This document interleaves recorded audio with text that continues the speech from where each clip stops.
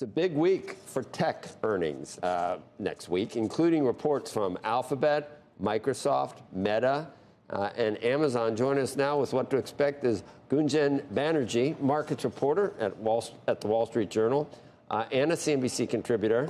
I, I want to, how are you? It's good to see you, uh, uh, Gunjan. But in terms of what this means for the overall market, I think what we've seen lately, just in, in the S&P this week, is interesting because uh, it, it, almost looks like it's, I don't know, stalling out a little bit. Like whatever we saw that bounce from October doesn't look like it, it doesn't look like it's necessarily going to get through these resistance levels. Could tech do it? Could te- if it's if it's not so bad next week, would that be the impetus for starting uh, another leg up? Joe, it's been remarkably, remarkably quiet out there. But I think people looking at that broader index level and looking at these 0.1% moves up and down in the major indexes are kind of missing the picture because underneath we are seeing these huge moves um, for some of these mega caps this week. You know, just Tesla's move yesterday down almost 10%. Netflix's move after its earnings this week. So that's kind of a warning sign going into this really, really important earnings week we have next week with a bunch of those mega cap tech stocks reporting earnings. And you know, zooming out, I think analysts are not expecting a great season. Um, analysts are, are, expecting profits for information technology companies within the S&P 500 to fall around 15% for this quarter. That's more than double the decline for the S&P 500, and it would be the worst quarterly decline since 2009. Um, now I'm hearing Gunjan talking about 2024. In fact, someone last night said, you know, the election's only 18 months away. And I was like, what, which election? I go, oh my God, is that true? Mm-hmm. So the next earnings, the next year of comparisons is not that far away now. And what, what, are we, what are we deciding about 2023? This is going to be the, uh, the low point. It's going to be flat. And then what do we know about 2024? Is there a resumption of, of better growth, do you think? As, as, you just said, I think 2024 just seems so far out right now. You know, so many investors already thought that we would be in a recession right now in the second quarter of 2023. And clearly that keeps getting pushed further and further out.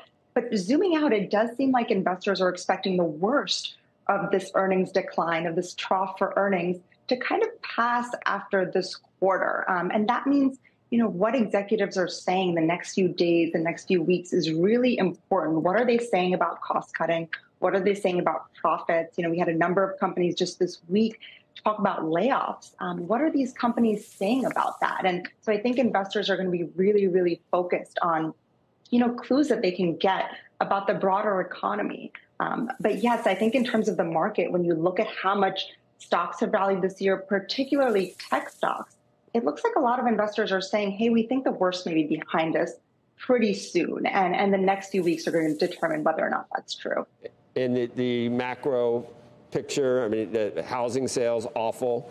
Uh, what did we say? How many tech, how many Fed guys talked yesterday? So we don't, we still are trying to figure out whether there's more, whether it's 25, whether it's another 50.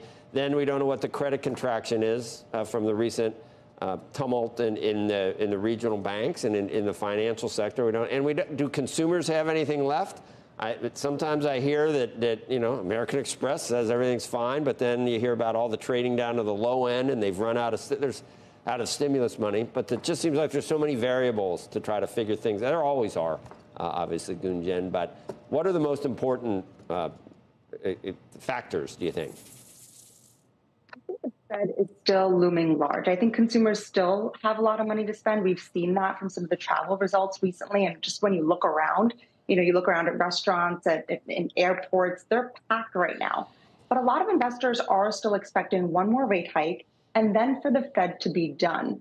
Um, but that's in contrast with what the Fed has said. So I think any any developments on that front um, could hurt, particularly tech the next few weeks and months because investors have piled back into the sector expecting rate cuts, expecting a slowdown in rate hikes.